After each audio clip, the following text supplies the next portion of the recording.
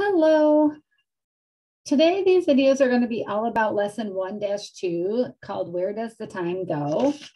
And it all starts with the student's schedule of how they spend their time. And I'm going to show you their schedule here. so they use different letters to represent how they spend their time throughout the day. And we're going to tally those up. And I'm going to give those to you.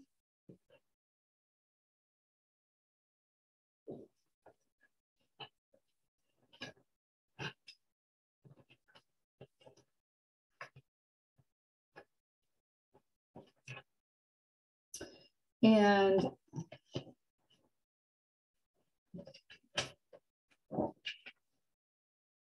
they are the hours spent on class tallied up to be 15.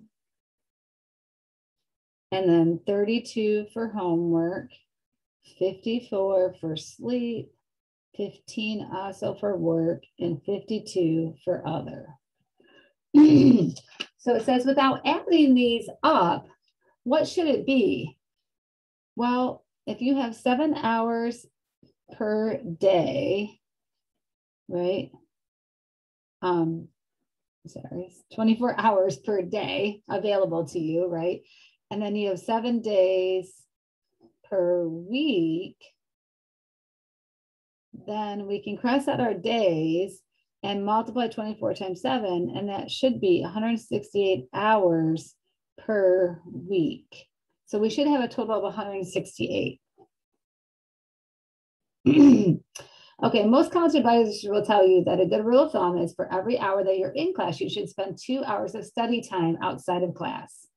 So if they're in class for 15, then they should be spending 15 times two or 30 hours of study. Right? And it looks like they are spending 32. So yes, they are studying for 32 hours. So it looks like they're spending enough time on that. That's good.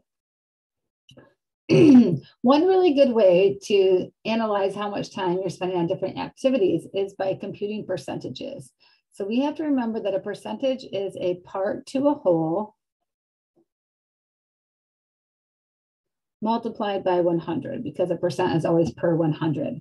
So if we want to set to figure out what percentage of time do we spend in class, we would take the part of hours that were class, which would be 15, and divide by 168 and multiply by 100, and we would find out that it rounds up to the nearest percent of 9%.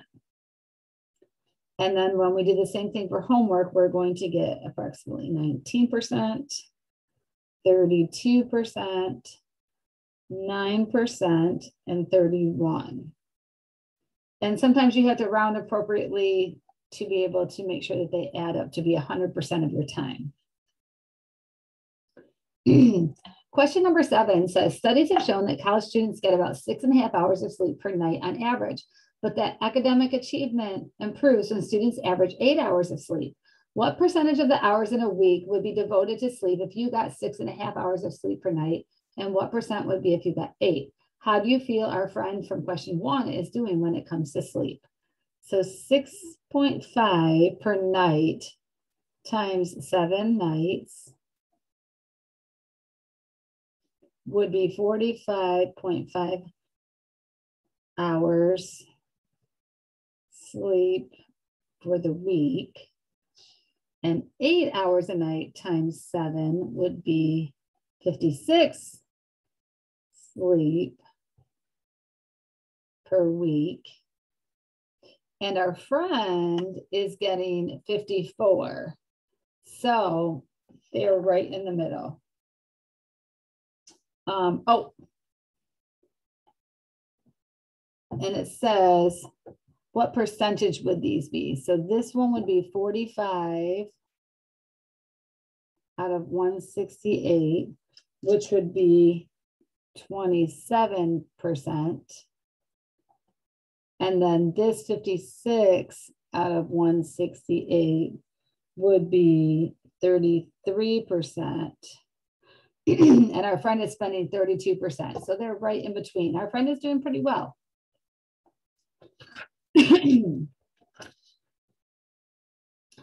so one thing we can also do when we talk about percentages, if we have um, for a topic, if we have all available answers, which means we would have 100% of our, like for instance, um, this is how the person spent 100% of their time, adds up to 100. We can also display this graphically using a pie graph. Um, pie graphs or pie charts are usually just displayed in degrees. And we usually split up a pie chart into 360 degrees. And we usually use this symbol, kind of like when we're talking about temperature, but it's not temperature. Okay, so on question number eight, it says use the procedure from solve from example one to find the number of degrees in a pie chart that would correspond to each activity in the chart from question six. So I'm going to put my percentages over here so that I can they can help me figure out my degrees. So my percentages were 9, 19, 32, 9, and 31. so for class, 9% would be 9% of 360 or 0.09 times 360. And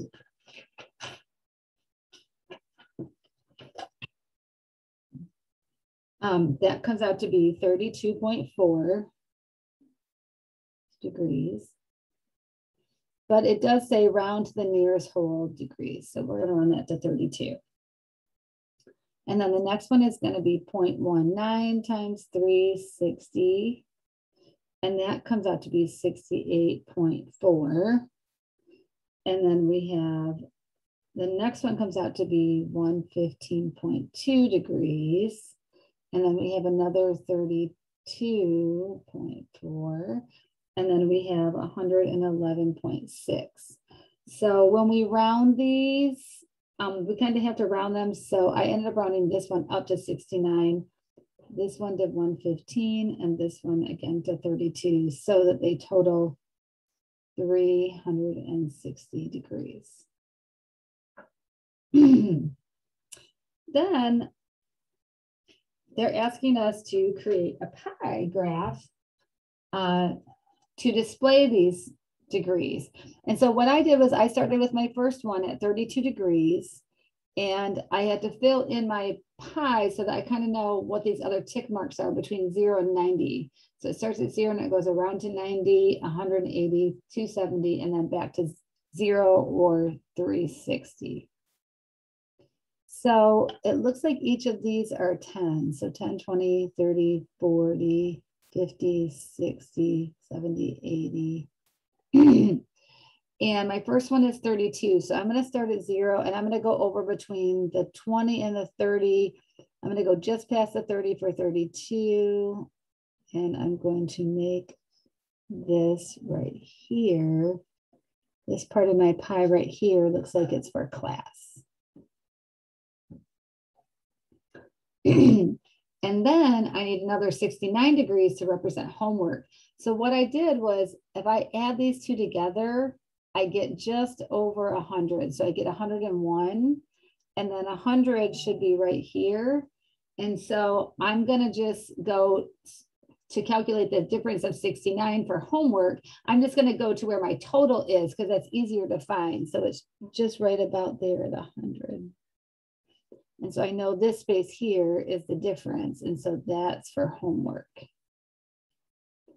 And then if I add another 115 to that, I know that I'm at 101 plus 115. So I'm about at 216. And so 180 is here. So 190, 200, 210, 220. So I know that 216 is right in between there. so I know that this space right in here is going to be my sleep space. And then I'm going to add in another 32, and that's going to get me to 248. And this is 270, this is 220. So we have 230, 240, 250. So this one should be right before 250, so 248. So this part of my pie is going to be for work. And then that leaves the rest of my circle for other fun activities. And there we have it. so that's how you make a circle graph. You find the percentages, and sometimes you're given a circle graph and you have to do some estimating. So on the worksheet for um, this section, you're going to be looking at a circle graph and you're going to be doing some estimating like where do I think, um, actually it's for less lesson 1.3's worksheet, but you're going to be doing some estimating on getting a graph and then estimating what you think the sections, what percentage of the pie you think the sections are. The rest of this um, section is all about reading some graphs. And a, a graph that we're going to learn how to read here is a bar graph. A bar graph is used, um, a bar graph and a pie graph are both used for um, qualitative data so data that does not, it's not numerical and it doesn't have to go in an order.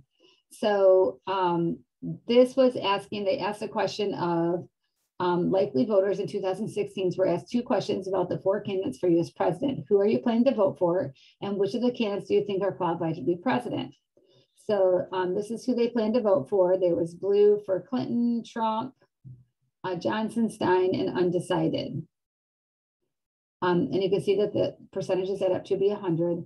And then they said, who do you think is qualified to be president? And so they had Clinton, and we'd have to do some estimating here, it's just about 60%. And Trump was just under 40%. Johnson was just over 40%, and Stein was just over 30. Um, and so it says, why did we choose a pie chart for the first uh, question and a bar graph for the second? So the pie graph is because they added to 100%. And not just because they added to 100%, because each person, when they ask the question, who are they going to vote for, they could only choose one. So everybody's answer only goes into this one time.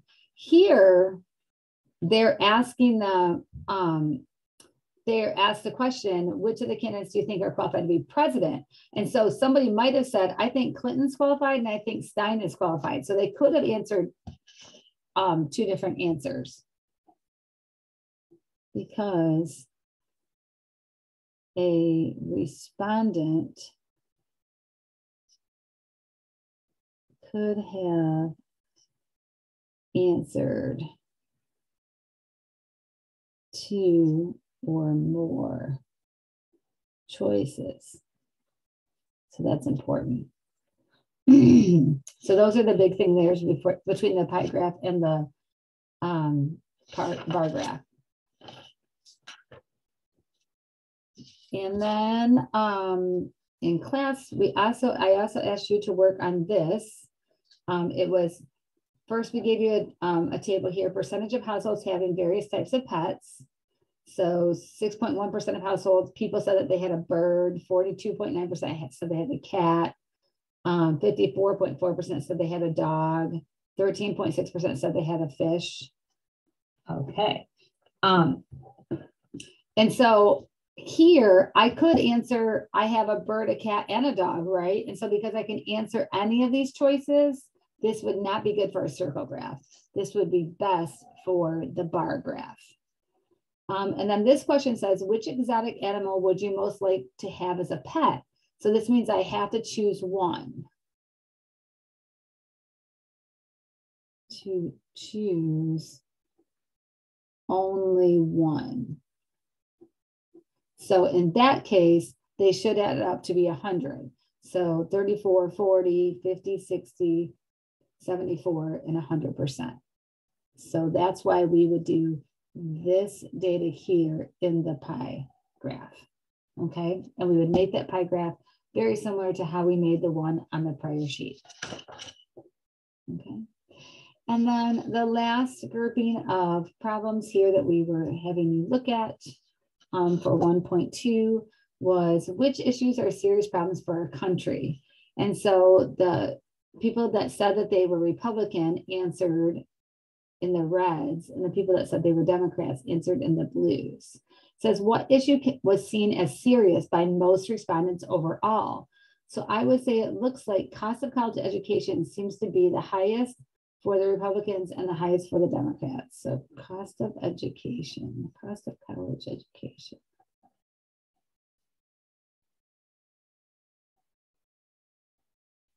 And then it says, what issue showed the greatest divide between Democrats and Republicans? And so how I would decide this one is I would probably look to see which one is there the biggest difference between the red and the blue. And it looks like equal access to economic opportunity looks like it's the biggest concern. Equal access to economic opportunity. Again, I use the difference between the length of the bars to decide. What percentage of Democrats felt like immigration policy was a serious problem? So immigration was blue, and that looks to be, I would say, maybe around 23%. And they don't, they definitely, that's one where they are definitely lower than that's the only one actually where um, Republicans seem to be more concerned than Democrats. And what about what about Republicans? The one that um, the Republicans are um, what percent for the Republicans? And that was just over 30, so I'd say maybe 32%. Um, it says, of the two political parties, which would you say had the most positive outlook on the current state of the country? And I would definitely say which issues are serious problems. Um, it looks to me like the Republicans are the most positive outlook because they're not as concerned about um, the gridlock between the parties.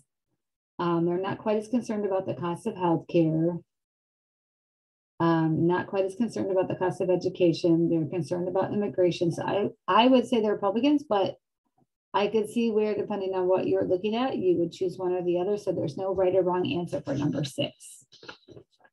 Okay. And that was all I'd ask you to work on for this lesson. So I will catch you back for lesson 1.3.